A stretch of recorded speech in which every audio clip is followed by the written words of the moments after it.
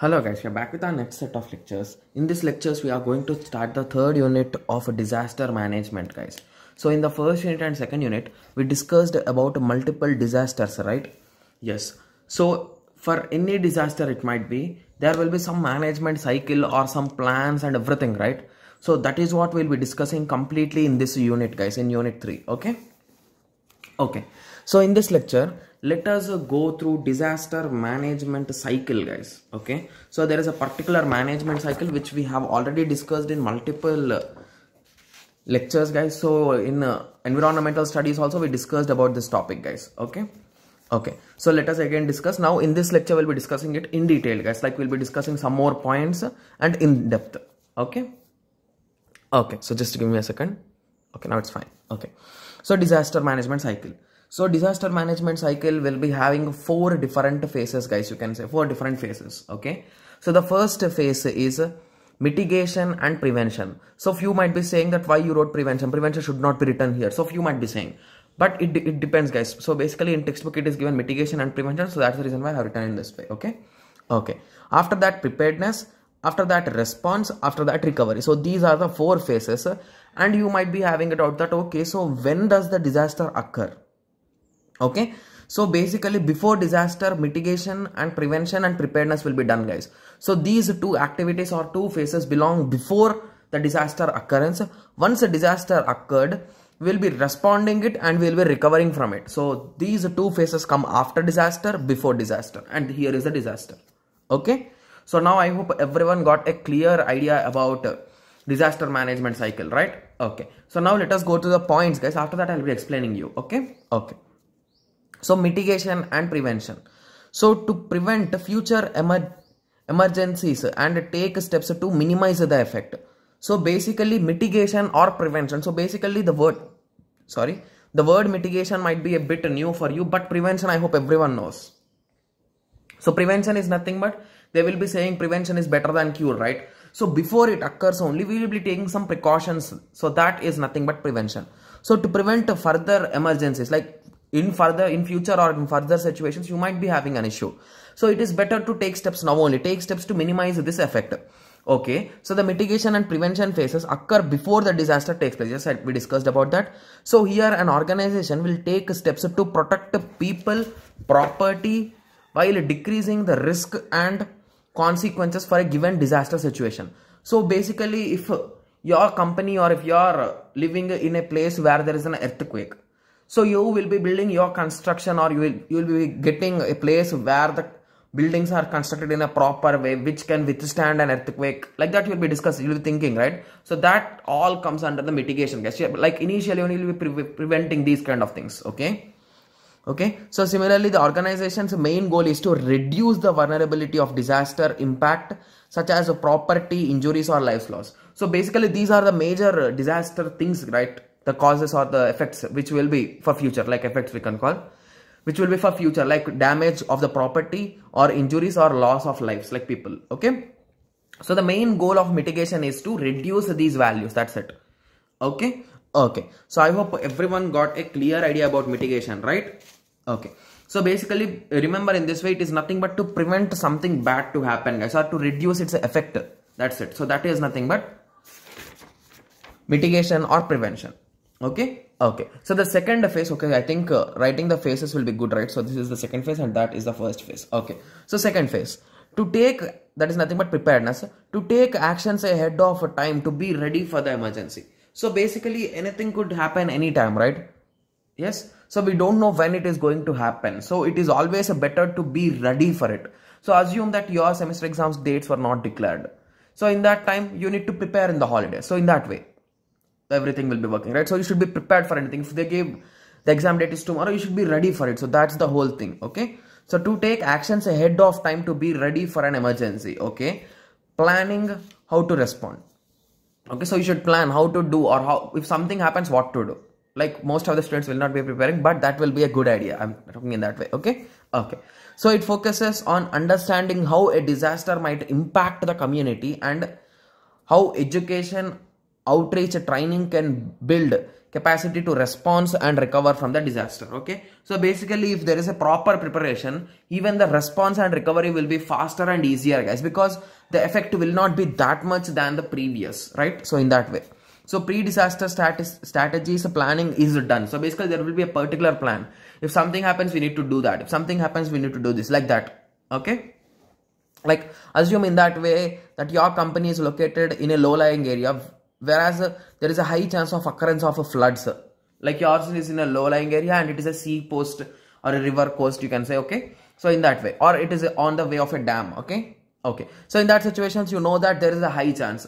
So always you will be having some emergency gates like where to go. So if there is a news that the flood is coming you should go out of the building and you should stay in some safe place right? So that things like what to do if something happens that comes under preparedness guys. Okay? So provide more information on how to better prepare on the organization for a disaster organization of a disaster. So something happens what to do how to do everything will be discussed in this in this point right? Okay okay. So the third phase is a nothing but a response guys. So till now the, the disaster has occurred and there is a effects on the surroundings and everything. So now your response will be matters a lot right? So what is the response that you are giving? Okay? Okay. So to protect people and property in the wake of an emergency or crisis so basically something bad happens you should make sure that you are protecting everyone and the property right? Yes so the, res the response phase occurs immediately after the disaster. Okay, organizations must focus their attention on addressing immediate threats to the people, property and business. So basically this point indirectly says that we should do some evacuation or emergency reliefs. So basically if there is a flood, all the buildings which might be having any issues like there could be collapsing and everything right? So there could be power cuts and everything. So these kind of villages or places should be evacuated by the people. Evacuation is nothing but you will be making them to change their location for a while. So everyone will be going in boats or any kind of vehicles and they'll be taken into the safer places where there is no water or anything. So I mean there is no floods or any kind of issues right? So that is nothing but evacuation and any emergency relief so so basically even uh, at that places also there could be some injuries for these people, right? So who are faced multiple issues. So you should maintain some relief camps and everything should be maintained. So these things comes under response. So basically once it happens, so what to do? Okay, like there will be multiple effects, right? So what to do after that? How to evacuate them? How to do everything will be coming under response. Okay, so there is a popular word that is called as a triage, guys. T R I A G E, triage okay? So it is nothing but sorting patients based on their injuries guys. So basically if assume that there is a fire accident or any kind of accident so basically in that there will be at least a few people will be injured right? So basically whom should be treated first or whom should given high priority? So these things will be determined by this guys. Is a sorting out of patients based on severity of injury. So that will not be a good idea but that's a thing that they will be following. Okay? Okay Similarly, as the response period progresses, focus will typically shift from immediate emergency issues to conducting repairs, restoring and everything. So basically once everything will be falling into place, right? Slowly, like if flood occurs, it will not last for many long days or long time, right? So it will be leaving the places and it will be going under underground, right? So the water will be sinking into the ground. Yes. So all those things will be happening.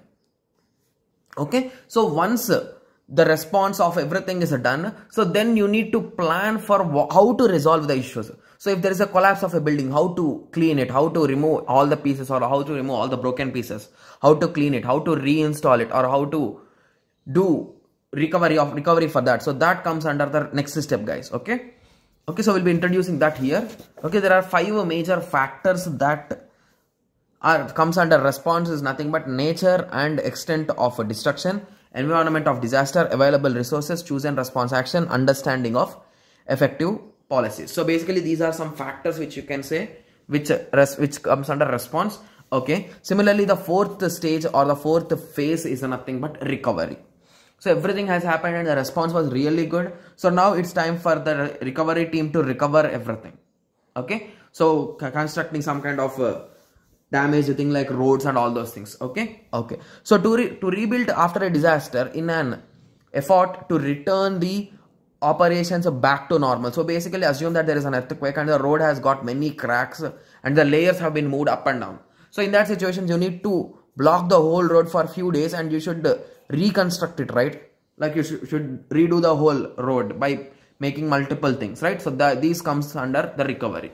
So bringing back, bringing it back to normal, okay? Okay. So the recovery phase takes place after a disaster occurred. Yes, because before disaster, what will you do guys? How, what will you recover? Yes, yes.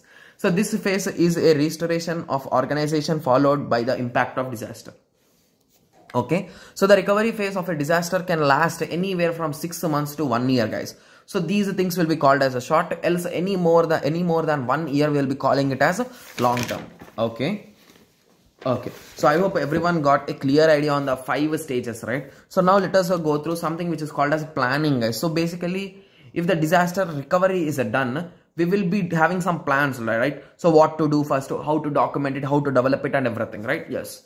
So everything will be planned sorry eh, sorry for that guys. So everything will be planned guys. So risk assessment development documentation implementation testing maintenance.